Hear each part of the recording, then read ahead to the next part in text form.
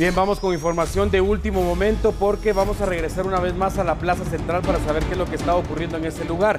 Ah, todo había transcurrido con normalidad, Diana, desde horas de la mañana. Justamente era el comentario que valía la pena que conociéramos todos los guatemaltecos. Sin embargo, empieza a ocurrir algo ya inusual. Ojalá que no hablemos en poco tiempo de problemas y que incluso sea necesaria la intervención de la Policía Nacional Civil, porque vemos dos personas, aquí está así, creo yo, con el rostro cubierto, efectivamente, y cargando sobre los hombros un hombre tratando de subir el asta de la bandera, justamente ubicada en el corazón de la Plaza Central.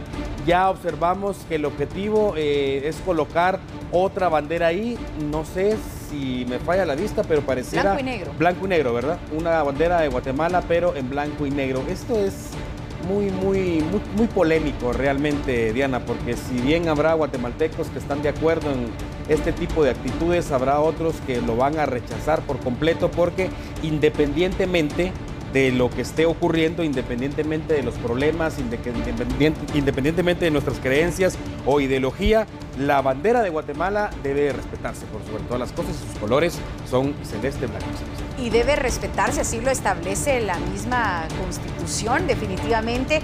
Esto prácticamente sería un delito, pero ahí vemos cómo este hombre sube poco a poco. Por cierto, tampoco está utilizando un equipo especializado que le pueda dar soporte. Sí vemos que está sostenido, está enganchado pareciera, pero mm, realmente es muy, muy complicado. Muy vulnerable, Aparte, pareciera que incluso está desprendiendo la pintura gris del asta de la bandera. Esto realmente se empiezan a salir las cosas de control. Ojalá eh, es un caso aislado, no estamos hablando mal en ningún momento de las personas que llegaron para participar de esta manifestación, la voz del pueblo, una marcha en contra de la corrupción, pero eh, esto definitivamente no estaba contemplado y seguramente habrá personas que incluso me atrevo a pensar que están participando de esta marcha contra la corrupción que no están de acuerdo con lo que está ocurriendo. La, la bandera está eh, al final del asta, justo como debe ser, con los colores que son, el azul cielo y el blanco en medio, pero bueno, así las cosas a esta hora en la Plaza de la Constitución, parece que ya va a lograr colgar la bandera de blanco y negro, bandera guatemalteca, y, empieza a descender. Así es, Alan, tenemos estas imágenes completamente en directo, esto es lo que está ocurriendo en la Plaza de la Constitución a tan solo 10 minutos de puntualizar las 3 de la tarde. Ya vemos que lo ha enganchado. Veremos, estamos atentos de qué es lo que está pasando. Por cierto, el clima ha cambiado, ya se torna más nublado. La lluvia podría sorprender a las personas que se han concentrado en aquel lugar. Ahí es donde se intenta acomodar y definitivamente podremos ver de qué se trata. Sí, al parecer, como tú lo decías, Alan, sí es una bandera de Guatemala en blanco y negro. Ahí es como lo logramos constatar. La irán a pisar por completo muy difícil, no creo yo que los no puedan hacer más de esa altura. Pero eh, bueno, es lo que está ocurriendo, es, desconocemos eh, qué organización es la que ha ordenado esto, porque definitivamente estamos hablando eh, de una organización, de un plan. Ya sabía obviamente que esto iba a ocurrir. Algunas de las organizaciones que está participando, primero hubo que comprar la bandera, segundo hubo que teñirla y, bueno, también contratar a la persona encargada. Correcto, y encontrar a la, persona encargada de, ponerla en ese lugar, una bandera de Guatemala eh, de color blanco y negro, inusual definitivamente, falta de respeto seguramente para muchos guatemaltecos, como también habrá muchos que están de acuerdo en lo que está ocurriendo.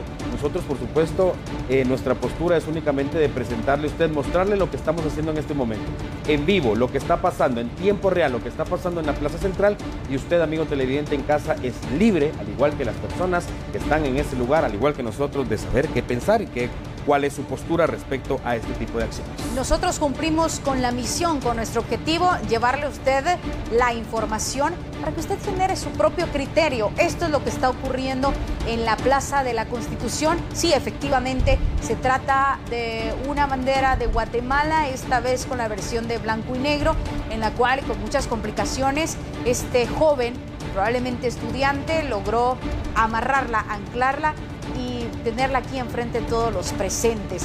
Así está luciendo la plaza, como repetimos, podría ser que la lluvia también sorprenda a las personas que aún siguen en aquel lugar del centro histórico y que obviamente pues también hay que decirlo, ya muchas personas se están retirando del lugar, otros han indicado que podrían incorporarse cuando termine la jornada laboral. Pero en fin, nosotros estamos llevándole la información de todo lo que está aconteciendo.